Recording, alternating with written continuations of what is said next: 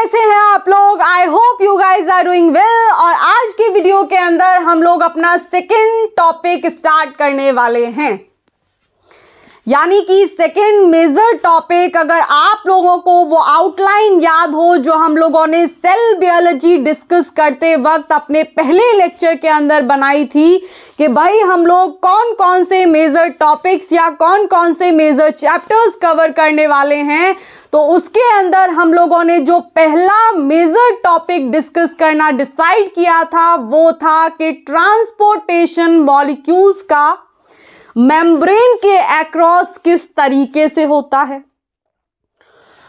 उसमें इन्वॉल्व होने वाले कौन कौन से वाहन होंगे और वाहन यहाँ पर ट्रांसपोर्टर्स थे चैनल्स थे कैरियर थे उन सारी चीज़ों के बारे में हम लोग बहुत डिटेल में डिस्कस कर चुके हैं और उसी आउटलाइन के अंदर हम लोगों ने ये डिसाइड किया था कि भाई, जो दूसरा मेजर टॉपिक हम लोग पढ़ रहे होंगे सेल बायोलॉजी के अंदर, वो होने वाला है मेम्ब्रेन पोटेंशियल। तो अब हम लोग मेम्ब्रेन पोटेंशियल की तरफ़ बढ़ने वाले हैं। और मेम्ब्रेन पोटेंशियल की तरफ़ बढ़ने से पहले आप लोगों को कुछ चीज़ें समझने में आ जानी चाहिए कि ये जो मेम्ब्रेन का पोटेंशियल होता है, आखिर ये किस तरीके से जनरेट होता है? या फिर ज़्यादा ज्ञान नहीं करते हैं? टॉपिक स्टार्ट कर लेते हैं। इधर देख लो। तो ये होने वाला है हमारा सेकंड मेजर टॉपिक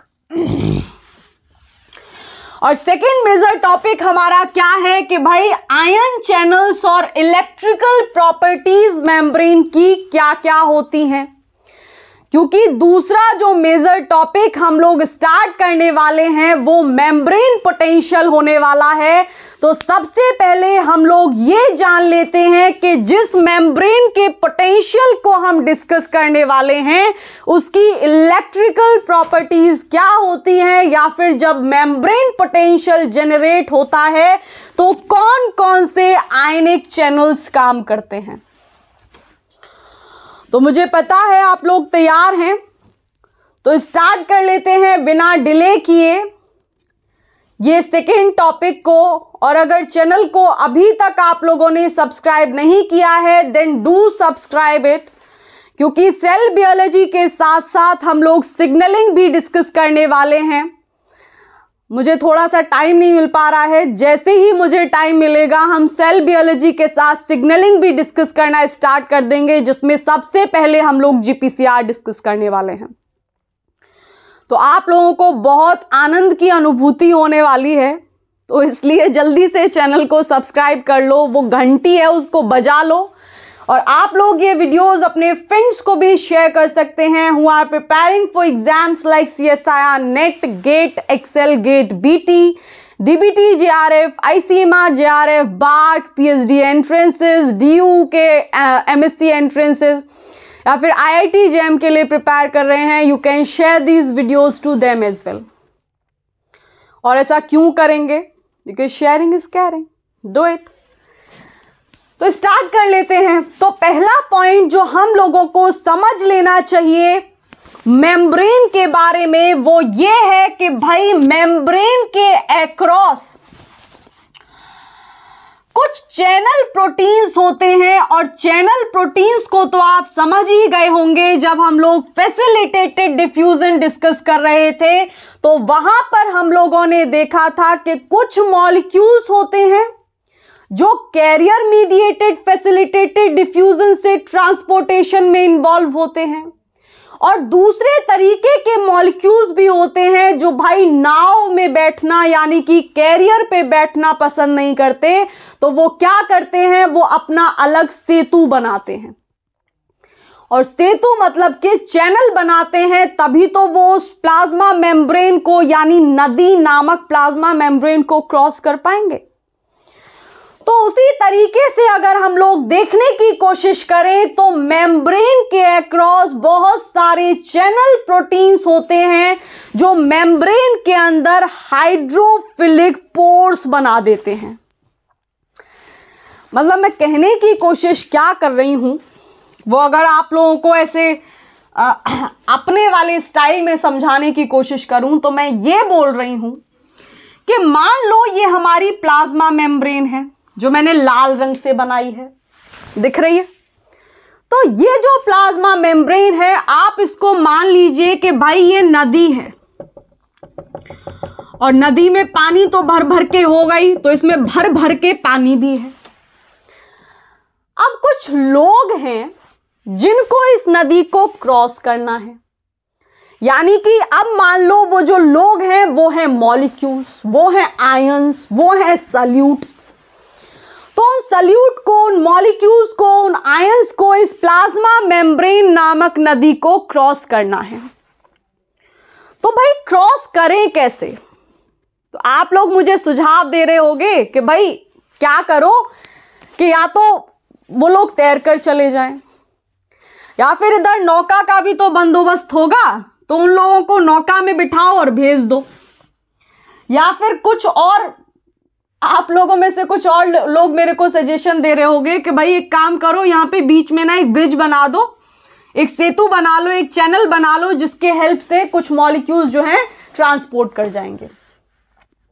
तो ये सारी चीज़ें हम ऑलरेडी डिस्कस कर चुके हैं while we guys were discussing about passive movement या पैसिव ट्रांसपोर्टेशन ऑफ़ मॉलिक्यूल्स तो if you have not seen that video then just go and check it you have a clear understanding right तो अभी फ़िलहाल के लिए ये समझो कि भाई इधर लोग इकट्ठा हैं और इन लोगों को, यानी इन मॉलिक्यूल्स को प्लाज्मा मेम्ब्रेन नामक नदी के दूसरी साइड जाना है।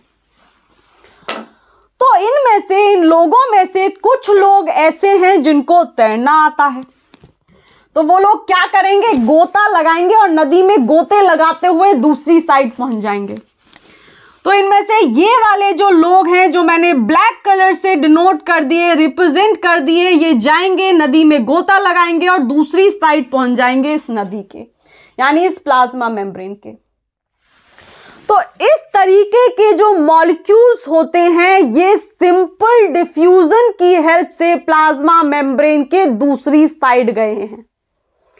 और ये कौन से मॉलिक्यूल्स थे? अगर याद हो तो स्टार्टिंग में एक एक्सपेरिमेंट हम लोग डिस्कस किए थे, जहाँ पर कि कुछ लोगों ने एक सिंथेटिक प्लाज्मा मेम्ब्रेन बनाई थी, एक ऐसी प्लाज्मा मेम्ब्रेन जिसके ऊपर प्रोटीन्स नहीं थे। तो फिर प्लाज्मा मेम्ब्रेन में बचा क्या?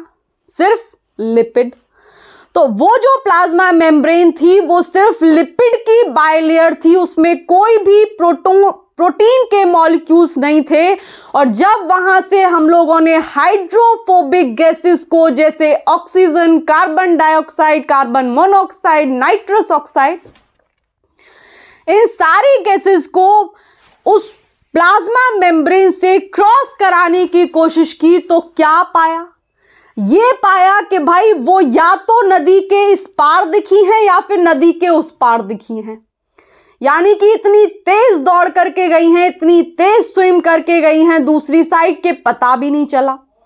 तो वो जो मॉलिक्यूल्स होते हैं, यानी हाइड्रोफोबिक गैसेस होती हैं, वो सिंपल डिफ्यूजन की हेल्प से प्लाज्मा मेम्ब्रेन को क्रॉस करती हैं। याद आ रही होंगी ये चीज़ें। नहीं आ रही? अब कुछ नहीं हो सकता। कतई कुछ नहीं हो सकता। अगर नहीं आ रही याद तो एक बार फिर से रीचेक कर लो। और कुछ नहीं कर सकते हम। वी आर ह्यूमंस राइट तो ये वाला जो पहला प्रोसीजर चलता है या फिर पहला प्रोसेस चलता है, ये सिंपल डिफ्यूजन वाला होता है कि भाई वो लोग जिनको तैरना आता है, वो एक काम करो स्विमिंग करके दूसरी साइड चले जाओ। तो ये काम कर पाती हैं हमारी hydrophobic gases O two CO two nitrous oxide carbon monoxide लेकिन कुछ लोग ऐसे भी होते हैं कि जिन्हें तैरना नहीं आता। तो मैं बना रही हूँ अब बिना तैराक लोग। ये क्या बोल दिया? वो लोग जिन्हें तैरना नहीं आता, वो ग्रीन रंग वाले हैं। दिख रहे हैं इसमें से ग्रीन रंग। ग्रीन मॉलिक्यूल्स, ग्रीन लोग खड़े हैं। और ये जो ग्रीन लोग हैं, बेचारों को तैरना नहीं आता तो ये क्या करेंगे? ये ढूंढेंगे भाई कोई नाव मिल जाए। इनमें से इनमें से भी दो कैटेगरी के लोग हो जाते हैं। कुछ लोग क्या करेंगे, वो नाव को प्रेफर करेंगे कि भाई कोई नाव मिल जाए तो हम लोग नदी के दूसरी साइड पहुँच जाएँ। ठीक है? तो ऐसे लोग या ऐसे मॉलिक्यूल्स या ऐसे सल्यूट जो कि नाव से होकर के इस नदी को, इस प्लाज्मा मेम्ब्रेन को क्रॉस करते हैं, वो हमारे कैरियर मीडिएटेड ट्रांसपोर्टेशन से इस नदी को क्रॉस करते हैं। मतलब मतलब वो फैसिलिटेटेड डिफ्यूजन का कैरियर मीडिएटेड पाथवे होता है। और उसमें होता क्या है? कि एक साइड प्लाज्मा मेम्ब्रेन के कैरियर लगे हुए होते हैं, यानी मान लो इन कैरियर को कि ये नाव हैं। और इन कैरियर का दूसरा नाम क्या था? परमिएज। तो ये नाव क्या करेगी कि नाव अपने मतलब नाव में कुछ लोग बैठ जाएँगे और वो जो लोग हैं, वो ये नाव उन लोगों को दूसरी साइड में पहुँचा देगी। तो अब ये लोग, जो तीन लोग यहाँ पर बैठे थे वो तीनों लोग इस नदी को क्रॉस करके या इस प्लाज्मा मेम्ब्रेन को क्रॉस करके दूसरी साइड पहुँच गए। है ना? लेकिन एक चीज़ है कि भाई नाव की एक कैपेसिटी होती है कि इतने ही लोगों को नाव एक बार में लेकर के जा सकती है। तो मान लो इस नाव की जो मैक्सिमम कैपेसिटी थी वो तीन ही थी तो अगर चौथा घुसने की कोशिश करेगा तो वो बैठ नहीं पाएगा। इसका मतलब ये हुआ कि ये जो कैरियर्स होते हैं, यानी फैसिलिटेटेड डिफ्यूजन के अंदर जो पहला तरीका होता है मॉलिक्यूल्स के ट्रांसपोर्टेशन के लिए, यानी कैरियर मीडिएटेड पाथवे या कैरियर मीडिएटेड या नाव वाला तरीका, इसमें एक पॉइंट के बाद नाव के अंदर या कैरियर के अंदर या परमीज के अंदर सेचुरेशन होना स्टार्ट हो जाता है। और जब सेचुरेशन होना स्टार्ट हो जाता है तो इस नाव में फिर और मॉलिक्यूल्स और लोग नहीं बैठ सकते। तो ये लिमिटेशन होती है इस कैरियर मीडिएटेड फैसिलिटेटेड डिफ्यूजन वाले तरीके की। अब कुछ और लोग भी बचे हैं। उनको बना दो। ग्रीन से वो लोग मतलब ग्रीन तैराक लोग मतलब वो लोग थे जिनको तैरना नहीं आता था।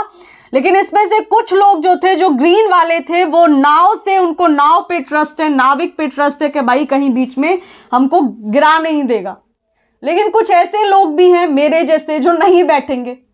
तो वो लोग क्या करते हैं, जिनको मैंने ग्रीन से ब्लू कलर से ट्रांसफॉर्म कर दिया है, ये लोग वो हैं जो नाव वाले तरीके से दूसरी साइड प्लाज्मा मेम्ब्रेन के नहीं जाएँगे।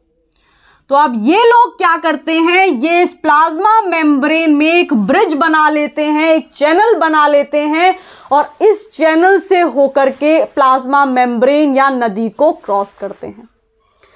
और ये वाले जो मॉलिक्यूल्स होते हैं, ये ज़्यादातर आयंस होते हैं। लेकिन यहाँ पर एक चीज़ देखने मिलती है कि भाई, ये जो चैनल बनाया है, ये जो सेतु बनाया है इसके इधर साइड एक द्वार लग जाता है, यानी गेट बना देते हैं। और अब आप लोगों को एक बात समझ लेनी चाहिए कि या तो ये चैनल खुला हुआ होगा, यानी जब ये गेट खुला हुआ होगा तो मॉलिक्यूल्स इजिली इससे प्लाज्मा मेम्ब्रेन के दूसरी साइड जा सकते हैं। तो उस केस में ये चैनल एक्टिव स्टेट में होगा।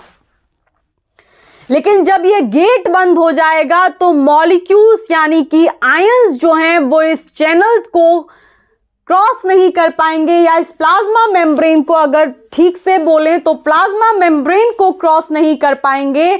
और जब प्लाज्मा मेम्ब्रेन को क्रॉस नहीं कर पाएँगे, उस स्टेट में जब गेट बंद होते हैं तो उस स्टेट में ये जो चैनल होता है, ये इनएक्टिव स्टेट में होता है।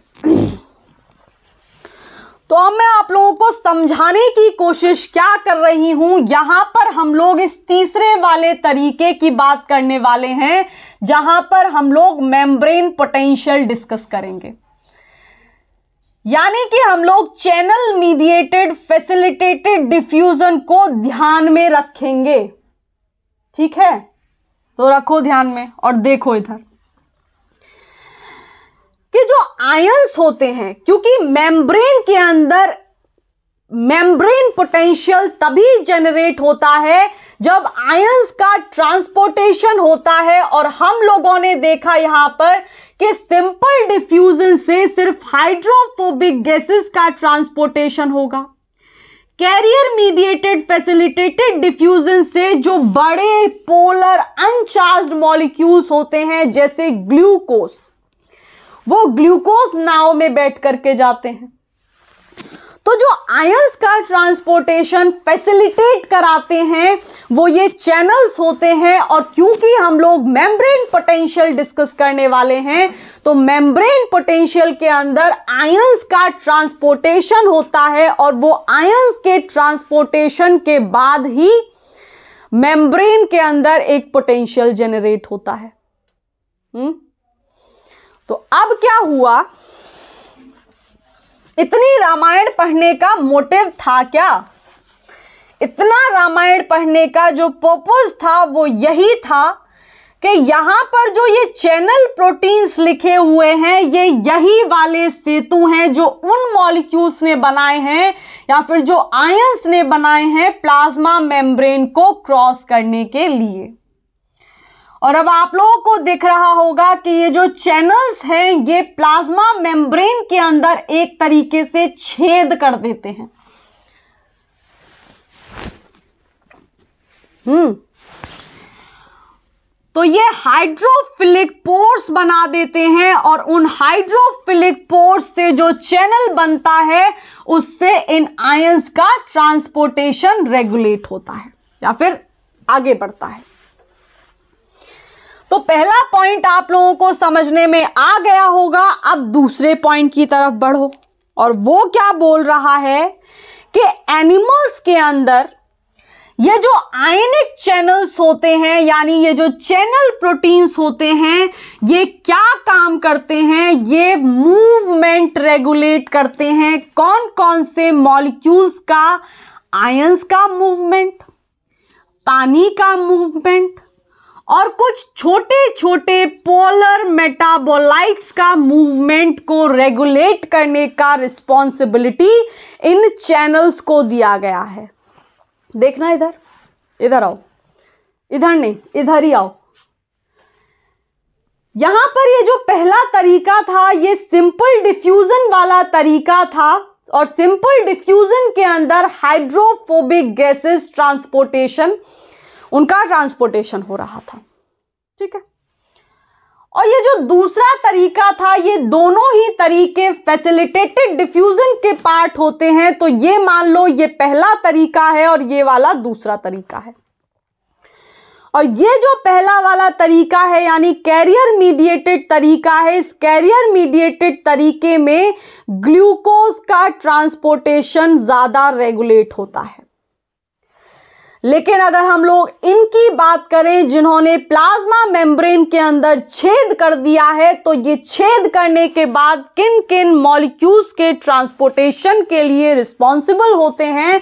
तो ये जो हमारे चैनल्स होते हैं, ये आयंस को, पानी को और पोलर मेटाबोलाइट्स को ट्रांसपोर्ट करते हैं। तो दूसरी बात भी समझ में आ गई होगी। तीसरी बात यहाँ पर जो लिखी हुई है और जो समझ लेनी ज़रूरी है आपको भी और मुझे भी, वो क्या है? वो ये है कि ये जो इनऑर्गेनिक आयंस होते हैं, इनका मूवमेंट जो होता है, अब इनऑर्गेनिक आयंस जो प्लाज्मा मेम्ब्रेन को क्रॉस करते हैं, वो कौन कौन से हो सकते हैं? ऑलरेडी डिस्कस कर चुके हैं।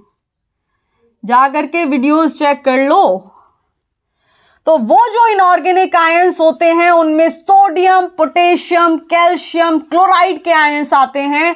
और हम लोग ये भी डिस्कस कर चुके हैं कि अंदर जो सेल के जिन आयंस की कॉन्सेंट्रेशन ज़्यादा होती है as compare to extra cellular वाला पार्ट वो ये पोटेशियम आयंस होते हैं। और बाकी के जितने भी आयंस इस बोर्ड पे दिख रहे हैं, या फिर जिनका ट्रांसपोर्टेशन होता होएगा वो सारे आयंस की कॉन्सेंट्रेशन एक्स्ट्रा सेलुलर साइड मतलब ये प्लाज्मा मेम्ब्रेन है तो इस सेल की एक्स्ट्रा सेलुलर साइड बाहर की साइड बाकी सारे आयंस का कॉन्सेंट्रेशन ज़्यादा होता है as compared to intracellular part जैसे सोडियम आयन जैसे क्लोराइड आयन जैसे कैल्शियम आयन सिर्फ़ पोटेशियम आयन है जिसका अंदर कॉन्सेंट्रेशन ज़्यादा होता है as compare to extra cellular वाला पार्ट तो तीसरा पॉइंट जो लिखा हुआ है और जो समझ लेना ज़रूरी है, वो यही है कि इन इनऑर्गेनिक आयंस में से जो कि ट्रांसपोर्ट होते हैं,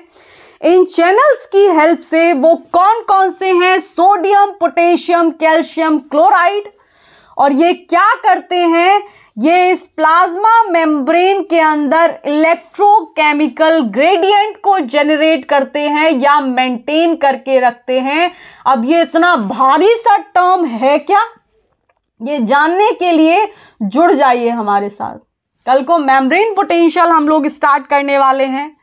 किस तरीके से मेम्ब्रेन पोटेंशियल जनरेट होता है, उसके अंदर कितनी फ़ेज़ होती हैं? और उन फ़ेज़ के अंदर कौन कौन से पंप कौन कौन से चैनल्स काम कर रहे होंगे, ये सारी चीज़ें if you guys want to know then do subscribe the channel तो मेम्ब्रेन पोटेंशियल हम लोग कल डिस्कस करने वाले हैं, जिसके अंदर हम लोग सबसे पहले देखेंगे कि पहला जो फ़ेज़ होता है, जिसको रेस्टिंग मेम्ब्रेन पोटेंशियल कहते हैं, वो किन ट्रांसपोर्टर्स की वजह से उनकी एक्टिविटी रेगुलेट होती है। देन हम लोग देखेंगे एक्शन पोटेंशियल, यानी एक्टिव स्टेज कैसे जनरेट होती है। जिस एक्टिव स्टेट के अंदर या एक्शन पोटेंशियल के अंदर मेम्ब्रेन डीपोलराइज्ड हो जाती है। देन एक तीसरा फ़ेज़ होता है जिसके अंदर रीपोलराइजेशन होता है हाइपर पोलराइजेशन होता है। तो वो हाइपर पोलराइजेशन या डीपोलराइजेशन किस तरीके से होता है? ये सारी चीज़ें हम लोग कल के वीडियो के अंदर डिस्कस करने वाले हैं। तो if you guys want to know about these things then join me अब देखना इधर।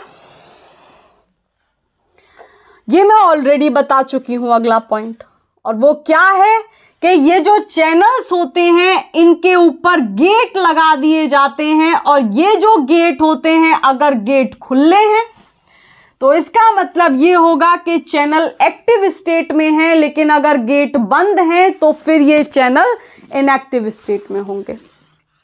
तो वही लिखा हुआ है अगला पॉइंट कि ये जो आयनिक चैनल्स होते हैं, ये दो फॉर्म में होते हैं। कौन कौन सी?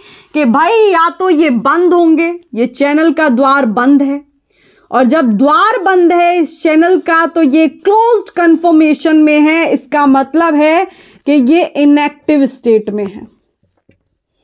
और जब इनेक्टिव स्टेट में होगा तो कोई भी आयन कोई भी पानी, कोई भी पोलर मेटाबोलाइट इससे क्रॉस नहीं कर पाएगा प्लाज्मा मेम्ब्रेन को। लेकिन जैसे ही ये चैनल ओपन होते हैं तो कुछ इस तरीके से ओपन हो जाते हैं और फिर आसानी से गेट खुल गया। आयंस का, पानी का पोलर मेटाबोलाइट्स का ट्रांसपोर्टेशन आगे बढ़ना शुरू हो जाता है। तो जब इनके गेट खुल जाते हैं, ओपन हो जाते हैं तो ये एक्टिव स्टेट में आ जाते हैं। ठीक है जी? तो इतनी बात समझ में आ गई होगी। बहुत गुचड़ुम गुचड़ुम हो रहा है ऊपर। हटा लो इस सबको। ये रामायण हटाओ और नीचे वाले पॉइंट समझ लो। क्योंकि नीचे वाले पॉइंट समझ लेना ज़रूरी है। क्योंकि इन सारे आयनिक चैनल्स को हम लोग डिटेल में डिस्कस करने वाले हैं, जैसे हम लोगों ने पंप डिस्कस किए हैं। जैसे हम लोगों ने मूवमेंट डिस्कस किया है डिटेल के अंदर, वैसे ही ये सारे के सारे चैनल्स भी हम लोगों को डिटेल में पढ़ने होंगे, क्योंकि बहुत सारे क्वेश्चंस देखने मिलते हैं। तो अगर आयनिक चैनल्स की बात करते हैं, जो एनिमल सेल्स के अंदर देखने मिले तो वो चार तरीके के मेजर आयनिक चैनल्स होते हैं, जिनमें अगर पहले को देखें तो वो होता है वोल्टेज गेटेड चैनल। और ये जो वोल्टेज गेटेड चैनल होता है, ये मेम्ब्रेन पोटेंशियल के अंदर जो चार्ज होता है यानी जो आयंस के ऊपर चार्ज लगा हुआ होता है या फिर मेम्ब्रेन के ऊपर जो चार्ज लगा हुआ होता है, उस चार्ज पर इनका मैकेनिज्म डिपेंडेंट होता है। इसके बारे में हम लोग कल मेम्ब्रेन पोटेंशियल के अंदर ही डिस्कस करने वाले हैं। जब मेम्ब्रेन पोलराइज्ड होगी, जब मेम्ब्रेन डीपोलराइज्ड होगी कौन कौन से फेजेस में हमारे वोल्टेज गेटेड चैनल्स देखने मिलेंगे? किस किसमें एक्टिव होंगे किस किसमें इनएक्टिव स्टेट में चले जाएँगे? दूसरा है लिगांड गेटेड चैनल और ये जो लिगांड गेटेड चैनल होते हैं, जैसा कि नाम ही दर्शा रहा है कि इनको खुलने के लिए और इनको बंद होने के लिए लिगांड की ज़रूरत होती है। यानी कि इनका जो एक्टिवेशन होगा या फिर इनकी जो ओपन कंफर्मेशन आएगी, वो तभी आएगी जब एक स्पेसिफिक तरीके का लिगांड इनके ऊपर आकर के अटैच होगा। और यहाँ पर वो जो लिगांड होगा, वही इनके रिसेप्टर की, उस रिसेप्टर मतलब ताले की चाबी होगा। तो दूसरे तरीके के जो चैनल्स हैं, जो हम लोग डिटेल में डिस्कस करेंगे, वो लिगांड गेटेड चैनल्स हैं। और ये जो लिगांड गेटेड चैनल्स हैं, इनका एक्टिवेशन एक स्पेसिफिक लिगांड की बाइंडिंग पर डिपेंडेंट होता है। जैसे बड़ा ही फ़ेमस था, जैसे हम लोगों ने एबीसी ट्रांसपोर्टर के अंदर एटीपी ड्रिवन पंप के एबीसी ट्रांसपोर्टर के अंदर सीएफटीआर क्लोराइड चैनल डिस्कस किया था, क्योंकि वो भी बहुत ज़्यादा पॉपुलर हैं and popular things need validation right तो वैसे ही लिगान गेटेड चैनल के अंदर भी एक बड़ा ही फ़ेमस सा चैनल है acetylcholine dependent sodium channel नया नहीं है। ऑलरेडी बहुत सारे स्टफ़ बहुत सारी चीज़ें आप लोगों को पता होंगी, लेकिन फिर भी हम लोग डिस्कस करेंगे मे बी आप लोगों से कुछ चीज़ छूट रही हूँ। तो हम लोग डिस्कस कर लेंगे। देन आयन चैनल्स के अंदर तीसरा जो इंपॉर्टेंट चैनल है, वो है न्यूक्लियोटाइड गेटेड चैनल और ये जो न्यूक्लियोटाइड गेटेड चैनल होता है, इसकी एक्टिविटी इसका जो रेगुलेशन होता है, वो कुछ सेकेंडरी मैसेंजर पर डिपेंडेंट होता है, जैसे C M P C G M P A T P के मॉलिक्यूल्स और फाइनली अल्टीमेटली एक और तरीके के आयनिक चैनल्स होते हैं जिनको मैकेनिकली गेटेड आयनिक चैनल्स बोलते हैं। और ये जो आयनिक चैनल्स होते हैं, ये काम तभी करते हैं जब इनको मैकेनिकल फोर्स मिलती है। और मैकेनिकल फोर्स या तो प्रेशर से या फिर टच करके मैकेनिकल मीन्स से मिलेगी तो इनका एक्टिवेशन इनका रेगुलेशन मैकेनिकल फोर्स पर डिपेंडेंट होता है किस तरीके से होता है किस तरीके से ये acetylcholine dependent sodium channel काम करते हैं if you guys want to know about all these things then do subscribe the channel you can share these videos to your friends as well who are preparing for the same exam maybe उन लोगों को कुछ help हो जाए and do not forget to, like, press the bell icon. आप लोग कोई update miss ना करें राइट? आज के लिए इतना ही रखते हैं। कल मिलते हैं और कल हम लोग मेम्ब्रेन पोटेंशियल डिस्कस करने वाले हैं। तो सेल बियोलॉजी का सेकंड मेजर टॉपिक हम लोग कल डिस्कस करने वाले हैं। तो आ जाइएगा। बाय